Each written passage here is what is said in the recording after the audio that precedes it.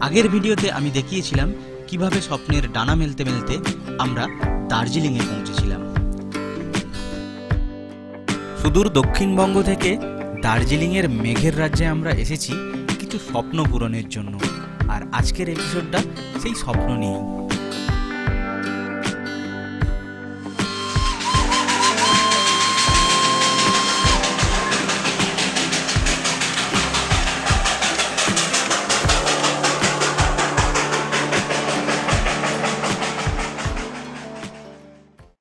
Good morning আজকে চোদ্দোই April সকালবেলা। আজকে আরও একটা নতুন ভিডিওতে আমার সমস্ত ভিউয়ার ও সাবস্ক্রাইবার বন্ধুদের হর্নেটম্যানের স্যালুট আজকে সকাল থেকেই একদম ওয়েদারটা চারদিকে দেখাই যাচ্ছে, পুরো কুয়াশাচ্ছন্ন। কোনো ভিজিবিলিটি নেই। জানি না সারাদিনটা কীরকম কাটবে। প্রিয়াঙ্কা শরীরটা একটুখানি খারাপ আছে। তো সেই জন্য আজকের পুরো দিনটাই রেস্ট ডে আমাদের। কিন্তু রেস্ট ডে হলেও ফটোগ্রাফি বন্ধ যাবে না। আর এই ফটোগ্রাফিগুলো আমার ইনস্টাগ্রাম চ্যানেলে থাকবে। ইনস্টাগ্রাম হ্যান্ডেল এখানে আসছে দেখুন। ইনস্টাগ্রামের সঙ্গে সঙ্গে আমাকে ফেসবুকেও ফলো করতে পারেন। সকালবেলায় ব্রেকফাস্টে গরম রুটি আলুর তরকারি এবং জানালায় সুন্দর ভিউ দেখতে দেখতে চা খাওয়া। তো এখন মোটামুটি বাজে হচ্ছে সাড়ে এগারোটা। আর এই যে বিউটিফুল প্রপার্টি এই বিউটিফুল প্রপার্টিতেই কালকে রাত্রে আমরা স্টে করেছিলাম। তো আমরা দার্জিলিং একটা দিন এক্সটেন্ড করেছিলাম, তো সেই কারণে রুম পাইনি বলে। তো আমাদেরকে এই ম্যাডি হোমস্টেতে থাকতে হয়েছিল। তো দারুণ সুন্দর একটা নাইট কাটিয়েছিলাম, খুব কমফোর্টেবল খুব হোমলি বিহেভিয়ার তো ডেসক্রিপশনে আমি এর ইনফরমেশন দিয়ে দেবো, যদি চান বুকিং করতে পারেন। তো খুব ভালো আতিথেয়তা। কিন্তু এখানের একটা প্রবলেম হচ্ছে, এখানে বাইক পার্কিংয়ের খুব একটা ভালো ব্যবস্থা নেই। তো আর চার চাকার তো পার্কিংয়ের ব্যবস্থা নেই। পাশে একটা জায়গা আছে সেখানে একশো টাকা দিয়ে বাইক পার্কিং করতে পারা যায়। কিন্তু সেটা সেই অপশন আমি নিইনি। বাইক আলাদা করে আমি লক করে দিয়েছিলাম এবং বাইক চাপা দিয়ে বাইরে এরমভাবে রেখে দিয়েছিলাম। তো এখান থেকে বেরিয়ে যাই আর একটা নতুন হোমস্টেতে যাব যেখানে আমাদের তিন দিন থাকার ব্যবস্থা আছে। আমরা নতুন হোমস্টেতে চলে এলাম আর এটা ঠিক দার্জিলিং চিড়িয়াখানার বিপরীতেই। তো এখন একটা নতুন হোমস্টেতে আবার চলে এলাম। তো এটা হচ্ছে রিভা হোমস্টে আর এই হচ্ছে আমাদের অ্যাকোমোডেশন কালকে থেকে যখন থেকে এসেছি তখন থেকেই একদম চারিদিকে ফগই ফগ সুতরাং ভিউ তো কিছু দেখতেই পাওয়া যাচ্ছে না।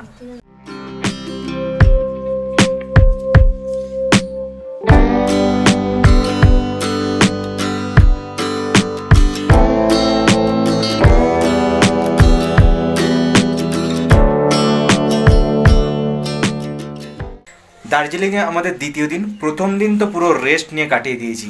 দ্বিতীয় দিনে আমরা যাচ্ছি আমাদের ঠিক হোমস্টেরই উল্টো দিকে।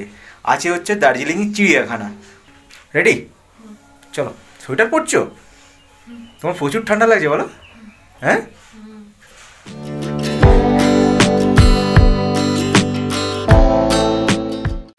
তো দার্জিলিং চিড়িয়াখানার মধ্যে তো অলরেডি চলে এসেছি। ষাট টাকা করে আমাদের টিকিট নিয়েছে আর ক্যামেরার জন্য, এই ক্যামেরার জন্য নিয়েছে হচ্ছে দশ টাকা। আর পিছনেই দেখতে পাওয়া যাচ্ছে কি?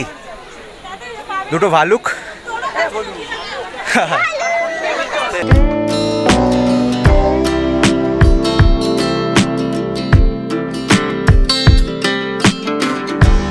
এসে আর একটা উইশ পূরণ হয়ে গেল, সেটা হচ্ছে যে রেড পান্ডা দেখা। তো বলেছিলাম রেড পান্ডা দেখাবো, তো দেখিয়েছি আপনাদেরকে রেড পান্ডা। রাজস্থানে গিয়ে ট্রাইপড ইউজ করাই ভুলে গেছি, আর এখন হাতের মাধ্যমে স্টেবল ভিডিও নিতে শিখে গেছি। তো এখন ঢুকছি হিমালয়ান মাউন্টেনিয়ারিং ইনস্টিটিউট। তো দেখা যাক ভিতরে কি দেখা যায়। তো যতটা সম্ভব রক ক্লাইম্বিং বা মাউন্টেনিয়ারিংয়ের বিভিন্ন সমস্ত জিনিসপত্র এখানে দেখার দেখার জিনিস আছে। অনেকটা স্টিপ রাস্তা উঠলাম ওই গো তোমাকে তো দেখতেই পাচ্ছি না।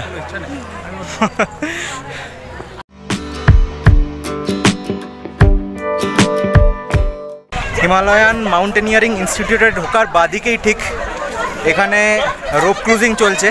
তো দারুণ সুন্দর দেখতে লাগছে। এখানে আরও অনেক অ্যাক্টিভিটি আছে সেগুলো এখানে করা যায়। তো দারুণ সুন্দর এনভায়রনমেন্ট আর প্রচুর ক্রাউড আর এখানেই একটা সুন্দর প্যাগোডা টাইপের জিনিস আছে। এখানে কিছু ছবি তুলবো। আর ছবিগুলো দেখতে গেলে জানেন কি করতে হবে? ইনস্টাগ্রামে গিয়ে আমাকে ফলো করতে হবে। ইনস্টাগ্রাম আইডি এখানে আসছে। তো এতক্ষণ ধরে মিউজিয়াম ঘুরলাম। মিউজিয়ামের মধ্যে ক্যামেরা ফটোগ্রাফি কোনো রকম কিছু অ্যালাউ নেই। তো এই হচ্ছে মিউজিয়াম বিশাল বড় মিউজিয়াম ঘুরতে অনেকক্ষণ টাইম লাগল, হাতে না টাইম থাকলে। এখানে ঘুরতে অসুবিধাই হবে। এবারে আমরা আমরা হচ্ছে জুয়ের বাকি যে পার্টটুকু দেখা বাকি আছে, সেই পার্টটুকু দেখব, দেখে বেরিয়ে যাব। এই এতক্ষণ যে চিড়িয়াখানাটা ঘুরলাম, ঘুরে পঁচিশ ক্যালোরি আমরা শক্তি খরচ করলাম। এতক্ষণ আমরা দেখলাম হচ্ছে ইন্ডিয়ান ন্যাচারাল যে মিউজিয়াম, ন্যাচারাল হিস্ট্রি যেগুলো আছে সেগুলো দেখলাম। এখানে ফটোগ্রাফি বা ভিডিওগ্রাফি অ্যালাউ ছিল না, লোকে করছে কিন্তু আমি করিনি। তো সেই সমস্তগুলোই দেখলাম। তো দারুণ সুন্দর এক্সপিরিয়েন্স সমস্ত কিছুই একদম মানে যে সমস্ত যে জন্তু জানোয়ারের চামড়াগুলো ভিতরে রাখা আছে সেগুলো একদম জীবন্ত মনে হচ্ছিল। তোমার কেমন লাগল গো? একটুখানি বলো। খুব ভালো লেগেছে। হ্যাঁ? খুব ভালো লেগেছে। তো এবারে প্রচুর খিদে পাচ্ছে। খেতে হবে। এবার খেতে হবে। তো যে হোমস্টেতে আমরা স্টে করেছি সেখানেরই রেস্টুরেন্টে এসে লাঞ্চ খাচ্ছি। লাঞ্চে অনেক কিছু আছে খাওয়া অলরেডি শুরু করে দিয়েছে। ভাত ডাল চানা পনির বাঁধাকপির তরকারি একটা লাউয়ের কিছু একটা তরকারি দুরকম চাটনি আছে। এবারে আরেকটা স্বপ্ন পূরণের উদ্দেশ্যে তিরিশ টাকা টিকিট কেটে ঢুকে পড়লাম বাতাসিয়া লুপে তো জু ঘোরার পরে আমরা চলে এসেছি হচ্ছে বাতাসিয়া লুপ কোথায় গো? তোমাকে দেখাই যাচ্ছে না পিছনে? এই যে। বাতাসিয়া লুপ। তো বাতাসিয়া লুপ একটা হচ্ছে ওয়ার মেমোরিয়াল সবাই আমরা জানি। তো ওয়ার মেমোরিয়ালের ওখানে একটা মিনার তৈরি করা আছে। বাতাসিয়া লুপ থেকে এই যে এখানটায় দাঁড়িয়ে কাঞ্চনজঙ্ঘাকে দেখা যায়। তো মেঘলা ওয়েদারের জন্য এখন তো কাঞ্চনজঙ্ঘাকে দেখা যাবে না। সেটা ট্রাইও করব না আর সেটা এক্সপেক্টও করিনি কারণ ওয়েদার প্রথম দিন থেকেই একদম খারাপ ছিল। তো আপাতত বাতাসিয়া লুপে যদি একটা টয় ট্রেন আসে, তো দারুণ একটা শট পাবো। তো এটাই এক্সপেক্ট করছি। আর এর থেকে বেশি কিছু এক্সপেক্ট করিনি কারণ চারিদিকেই মানে ওয়েদার এতটাই খারাপ, মাঝে মাঝে বৃষ্টির ফোঁটাও পড়ছে।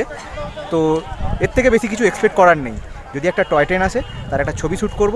এখানে কিছু আরও ছবি শ্যুট করব। ছবি শ্যুট করে বেরিয়ে চলে যাব হচ্ছে দার্জিলিং ম্যালের দিকে।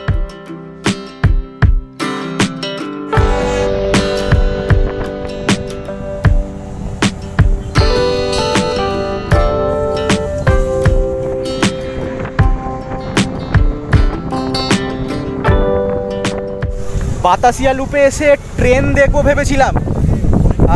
একটা নয়, দু দুটো ট্রেন একটা ট্রেন, ওদিকে আরেকটা ট্রেন দাঁড়িয়ে আছে, দু দুটো ট্রেন, একটা স্টিম ইঞ্জিন আরেকটা হচ্ছে আরেকটা হচ্ছে ডিজেল ইঞ্জিন তো এই স্বপ্নটাও পূরণ হয়ে গেল, অর্থাৎ দার্জিলিং নিরাশ করেনি। তাহলে বলো, বাতাসিয়া লুপে আসা কি সার্থক না সার্থক নয়? একদম সার্থক।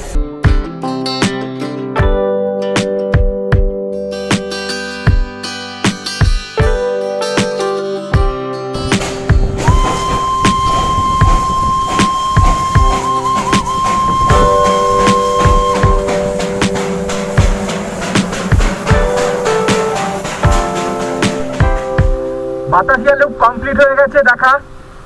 এবারে চলেছি হচ্ছে দার্জিলিং মল। মোটামুটি পাঁচ কিলোমিটারের মতো রাস্তা। এই মনেস্ট্রিটার কথা বলছিলে? রাস্তার ধারে সুন্দর একটা মনেস্ট্রি দেখে ঢুকেই পড়লাম আমরা। তো আমি এখানে প্রচুর হাওয়া চালাচ্ছে। বাতাসিয়া লুপ দেখে আমি যাচ্ছিলাম হচ্ছে দার্জিলিং ম্যালের উদ্দেশ্যে। কিন্তু দার্জিলিং ম্যাল যেতে যেতে এখানে একটা মনেস্ট্রি পড়ল ডালি মনেস্ট্রি এখানে টনিকের শুটিং হয়েছে দেবের টনিক এত হাওয়া টেনে কি হবে কাকা? বেলুন তো চুপসে গেছে। তোমার বাবার বেলুন চুপছে গেছে তো এই মনস্ট্রিটা দারুণ সুন্দর রাস্তার ধারে দেখলাম বলে ঢুকে পড়লাম। বাইরে থেকেই দেখতে দেয় ভিতরে যেতে দেয় না। পড়ন্ত বিকালে এই মনেস্ট্রির যা সৌন্দর্য তা ভাষায় বলে আমার পক্ষে প্রকাশ করা তো একদমই সম্ভব নয়।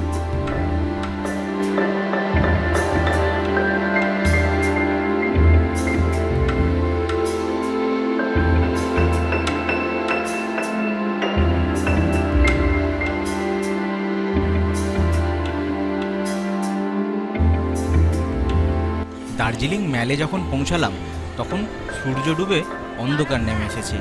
সুতরাং দেখার কিছুই আর ছিল না। অবশেষে চলে এসেছি দার্জিলিং ম্যালে প্রচুর হাওয়া দিচ্ছে। এখানে অনেক রকমের দোকান আছে। প্রথমে একটা ঢুকলাম প্রথমে একটা ঢুকলাম তিবেতিয়ান আর্টের দোকানে। তো দারুণ দারুণ নতুন নতুন জিনিস দেখলাম। তো অসম্ভব সুন্দর লাগছে।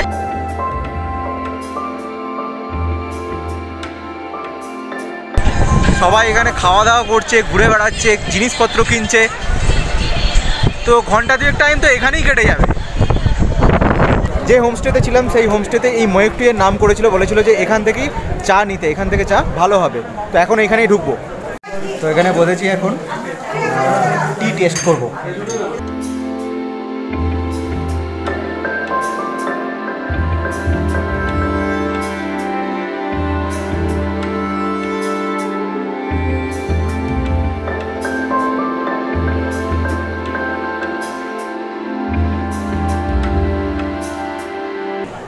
ময়ূকটি থেকে আমি চা টেস্ট করে দুটো আমি এখান থেকে একশো গ্রাম একশো গ্রাম করে দুশো গ্রাম কিনেছি। তো আজকের মতো ঘোরা আমার কমপ্লিট হয়ে গেল। আর আজকের ভিডিওটা এখানেই শেষ করছি। আর এখানেই আমরা বাইক রেখেছিলাম। দেখতে পাওয়া যাচ্ছে, পার্কিং পাইনি। পার্কিং নিয়ে এখানে একটা বহুত বড় লোচা আছে, তো পার্কিং পাইনি। সো আর কি বলব? তো এখানেই ভিডিওটা শেষ করছি। দেখা হচ্ছে আপনাদের সঙ্গে ঠিক পরে আরেকটা ভিডিওতে। ততদিনের জন্য বাই বাই। পরের দিনের ভিডিওতে এই পাইন ফরেস্টের মধ্যে রোম্যান্টিক মুহূর্ত কাটানো, নতুন বন্ধুদের সঙ্গে ফটোশ্যুট এই সমস্ত কিছু দেখতে হবে তো? তো সেই কারণে চ্যানেলটাকে কিন্তু সাবস্ক্রাইব করে রাখা চাই।